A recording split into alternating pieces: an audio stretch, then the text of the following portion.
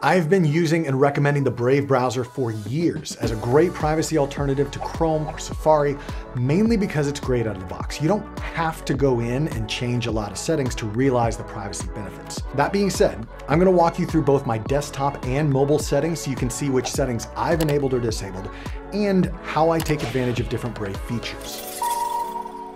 My name's Josh, this is All Things Secured, and since you're obviously already interested in building greater privacy and security because you're using Brave, you might also enjoy our new One Week to Better Privacy email course that delivers a unique, layered approach to digital privacy with very actionable steps in once-a-day emails over the next week. It's completely free, so visit allthingssecured.com slash email course or click the link below in the description. Okay, we're gonna start with my laptop, or if you'd rather, you can jump ahead to my mobile setup for Brave.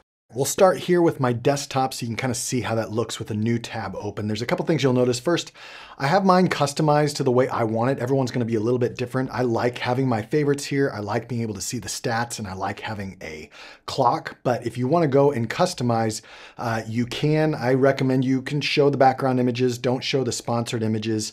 I like the Brave stats, kind of shows me how much time and how many data uh, trackers have been blocked. Uh, I the top sites I do keep, but I set which sites those are. It's not necessarily the frequently visited ones, it's ones that I've set up. Um, I don't do Brave News, I do keep the clock on, and then I turn off the cards. The cards are these talk rewards and Brave VPN, but I've never really used that. I like to keep things really clean. And then for search, you can show that search widget at the bottom, but the reality is I just use the URL navbar as my search bar as well. And so we'll get into that in a little bit. But this is the kind of the, the homepage for the internet for me, for using the Brave browser. We're gonna go in and look at our settings. So within the settings, you've got get started. Um, I like to continue where I left off, but for the most part on this get started page, there's not much that I change. With the appearance, um, a lot of this is really just your preference, but for me, there is very little here that I turn on. I wanna show that bookmark, bookmarks button, that's this one right here. So if I find, you know, a page that I want to keep, I can easily bookmark it by just pressing here and then, you know, putting it in whatever bookmarks that I want. Uh, you could turn that off and it would just make things a little bit cleaner, but I like to keep it on. So the only thing that I really keep on here is the autocomplete suggest. I like when I'm typing in here for it to autocomplete maybe my bookmarks or maybe my browsing history. Top suggestions, I don't want that. I definitely don't want their AI assistant. So I'm very selective about that. I wanna always show that toolbar. I don't really care about having a wide toolbar or showing the full URL. I don't need to see HTTPS. There's no good reason for that to me. Uh, and then again, the rest of this is a lot of preference. Sidebar, I don't want to show the sidebar. I don't use that. Um, if you do, you can turn that on. Doesn't present any kind of privacy or security problems. It's just a preference there. Content is a little bit interesting. So there are a couple things that you can add on here.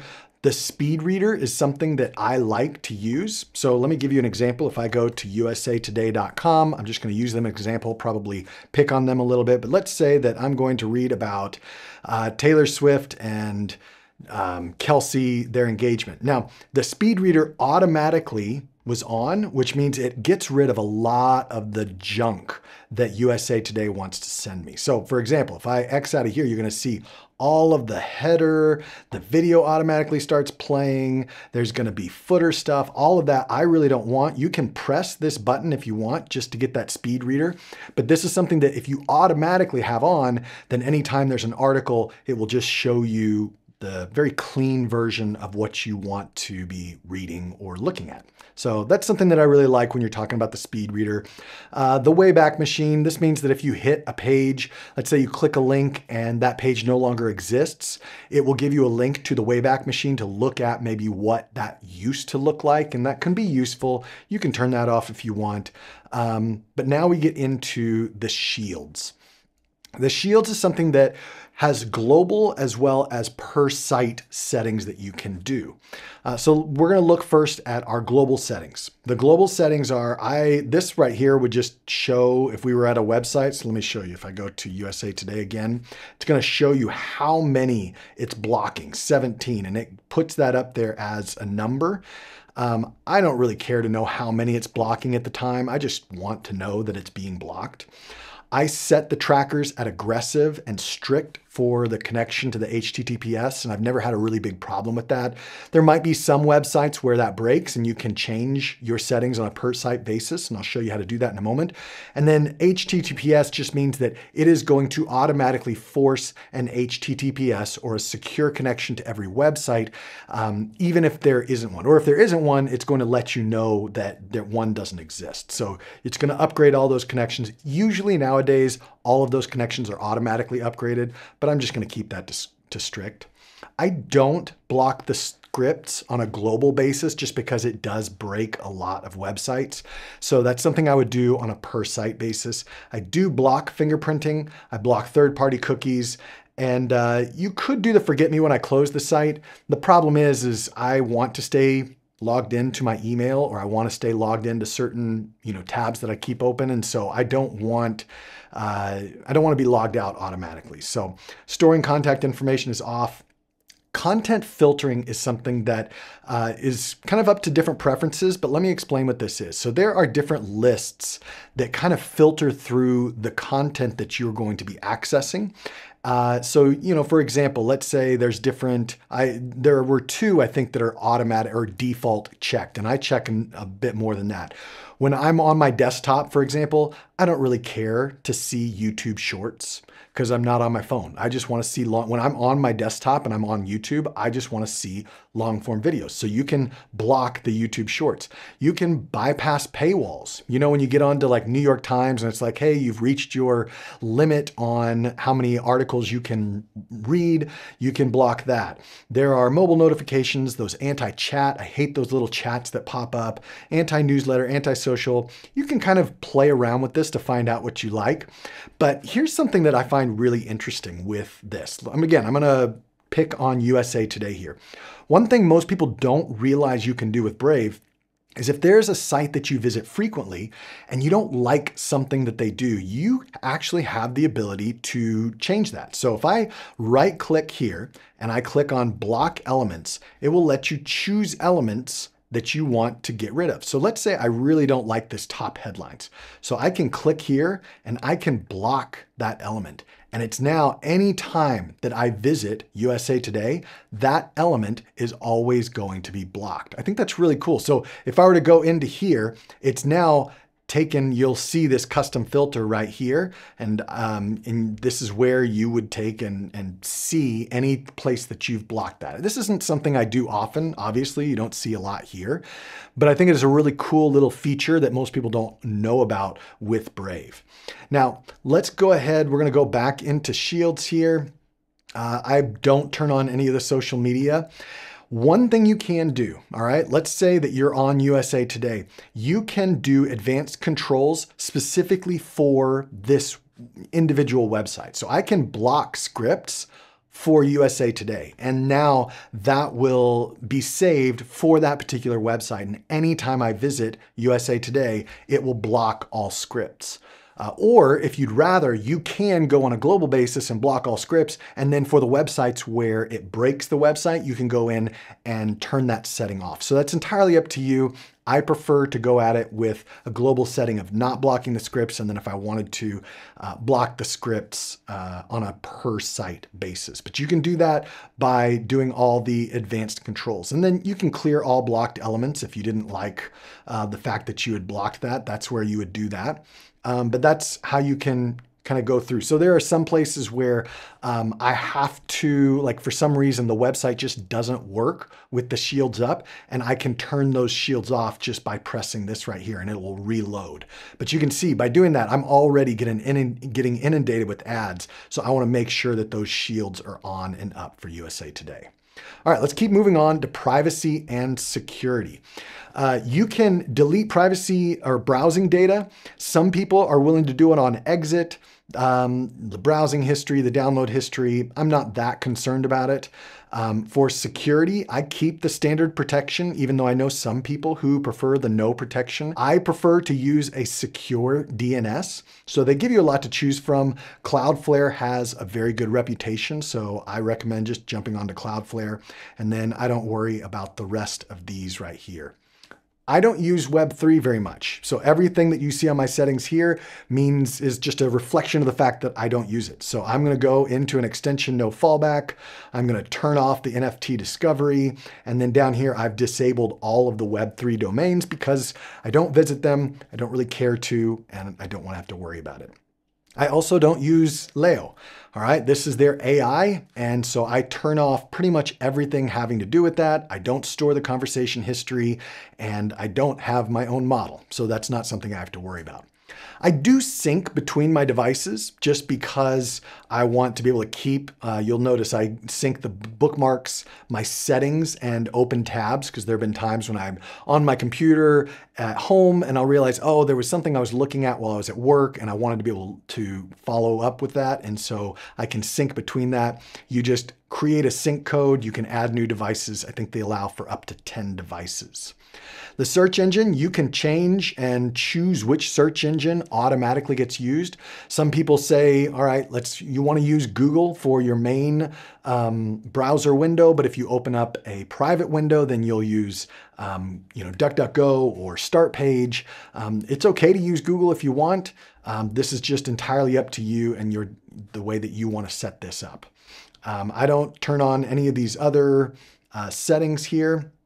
And let's go ahead and move on to extensions. I turn everything off except for Widevine. Widevine allows for DRM um, uh, content to be played. So what that means is if you want, if you ever actually, if you've been using Brave and you find that Disney Plus or Amazon, you know, Prime Video or Netflix don't actually play the videos, the reason is because you don't have Widevine turn on. You have to turn that on in order to be able to play that streaming content. So uh, we do that on my computer, so I turn that on. Um, I don't worry about any of the rest of the stuff. Just make sure that you have Widevine turned on. For autofill, I don't use Brave's password manager. As a matter of fact, I don't recommend anybody use any browser password manager unless you absolutely have to. So everything for me is gonna be set up in Proton Pass. And you'll see here, I've got the extension for Proton Pass. It is one of the few extensions that I have installed for Brave. I recommend keeping the number of extensions that you have installed to a minimum. And for me, the password manager is one of the few. So we'll go back here uh, payment methods, I turn everything off that I can. Same with addresses. I don't want Brave storing that. I do store some addresses so that it can autofill in, in Proton Pass, but I don't want to do that in Brave. Languages here, I have English set. I don't care. I mind. I don't mind doing spell check, but I do turn off Brave Translate because if I'm going to translate, I would rather use another service to do that. Downloads, I'm going to ask where to save. That's just a preference for me because sometimes I want to keep it in a different location, not always in my downloads folder. And uh, for accessibility, the only thing I have here is copy to clipboard confirmations. I want to know that it actually did copy system here, I'm turning on most of this except for, uh, this really doesn't matter that much, the show warning before quitting, um, and then the memory saver on a balanced. So this is my setting setup for Brave on a desktop. Let's go ahead and move now to my mobile device. This is my mobile browser on which I am running the Brave app. And if we start here on the homepage and you go down to the bottom right hand side, you'll see two parts. First, we have my actions, which we'll talk about in a moment, followed by all settings. Let's start with the actions. There are a lot of things that you can put here. There's probably gonna be a lot of them that are already by default. You can remove them all and have nothing, or there are a lot of things to choose from, print, downloads, uh, request desktop site, a lot of things that you might end up wanting that you can find here and customize for yourself. Now let's go into the all settings. In the all settings, there are a number of things that are gonna look familiar from what we did with our desktop browser, but we can follow pretty much a lot of the same stuff. For the shields and privacy, I wanna do aggressive, strict, I want to auto redirect AMP pages. AMP pages are something that Google tried to make a standard, but they're really going away now. And so I don't want to have anything to do with that. I want to redirect that. All of the tracking URLs. I'm not going to block scripts, similar to what I talked about on the desktop version. I do want to block fingerprinting, block cookie consent notices, and all of this. I want to auto shred. Basically, whenever a site tab closes, it gets rid of all of the information that had to do with that. And then content filtering is very much the same. I'm going to go in and I'm going to turn off, turn on a lot of these uh, lists of content filtering. I still want to bypass paywalls, so I'm going to turn that on and then you can search through a lot of these. A lot of them are language specific, so if it, you don't speak that language, you don't have to worry about it, but this is all up to you. With the clear private data, you can turn and clear all of this data however you want to do it. Um, this is just something that you'd go in and manually do from time to time. And then you can go into your privacy hub and you can show that Shields data. If you remember where it was telling how many uh, trackers it had blocked and how much time it had saved, you can turn that off if you want, or you can turn it on. That's entirely up to you. I don't mind. I kind of like having the statistics up there. Um, enable global privacy control. I'm going to keep that on. I'm not going to block all cookies, although I guess I really could. And then you could do private browsing only. A lot of these are really just up to you. Um, I'm going to block dangerous websites. I don't really care for Brave to tell me how much screen time I've had. Um, and then keeping all of this. I don't want to allow Brave surveys. I don't want to automatically send a daily usage ping to Brave. So that's the shields and privacy. On the rewards, I turn off the rewards here. Uh, I also don't like using their news. I don't use anything with Leo, so I turn all of that off. Um, I don't use their Brave uh, firewall and VPN. This is an overpriced VPN in my opinion, even if it is a good product, so I don't use that. Playlist is something that I know I've heard a lot of people do use if you watch media from within Brave. I actually don't do that. As a YouTuber, I watch YouTube in the YouTube app. And so um, I know that there are advantages to doing it in Brave. And so you can actually save and, and watch later or watch it um, with, you know, without having the screen on. A lot of these extra things that were maybe only YouTube premium features, you can do that here, but I've turned all of this off because I don't use the playlist feature. So that's up to you if you want to do that. Brave Translate, I told you before, I don't use Brave Translate. Um, I use other things if I wanted to, and I don't use Web3. So I take and make sure that everything is turned off and disabled, as you see everything down here for all the wallets, uh, and the domain names is disabled. All right, search engines. Again, this is a preference. You can do Brave, you could do Start Page, DuckDuckGo, or if you really want to, you could do Google and get Google results. Do it maybe for a standard tab, do Google or Start Page, and for the private tab, do Brave Search. That's up to you. Um, you can show recent searches. I don't like suggestions, um, but this is how I've set it up right here. All right, I did do sync. I'm not gonna show you that again. I do enable pull to refresh. I kind of like that. I pull down to refresh a page. Um, and then block pop-ups. Of course, nobody really wants pop-ups. I don't use Reddit or NPR, so I don't really care about that. With the media, I don't want to, I don't, again, I don't use Brave to play much media, so this is not something that I really care to turn on anything. The appearance, I keep it on automatic. I don't use the night mode. Uh, I don't care about changing the app icon. For the new tab, this is where the widgets on the front page you can turn on and off. So if you didn't want to have favorites, you could turn that off. Or if you didn't want to have that privacy hub that tells you all the statistics, uh, then you can turn that off as well. And then I always want to do the default images as opposed to sponsored images because I don't want to see ads when I first open up Brave. Um, I'm gonna hide the Brave Rewards icon. I like having the bottom bar because I don't like reaching all the way to the top of my phone. And uh, let's see here. Browser lock, that's an interesting thing where you can actually use your mobile device's biometrics to lock your browser. So you requires Face ID or a fingerprint in order to open the browser. I'm not doing anything in my browser that I feel like I need to uh, do an extra layer of security for, so I don't keep that on. But if that's something you want, it's easy to turn that on. For logins and passwords, same thing. I'm using Proton Pass on my mobile device just like I am on my desktop, so I don't want to save passwords or do anything related to passwords through Brave, and so that's all gonna be taken care of through the mobile settings for Proton Pass. I hope you enjoyed this Brave settings walkthrough. Feel free to leave a comment with any feedback on what you do differently. I'd really honestly love to hear that. And watch this video next where I explain the best way to de-Google yourself by migrating your password manager and email to a more secure alternative.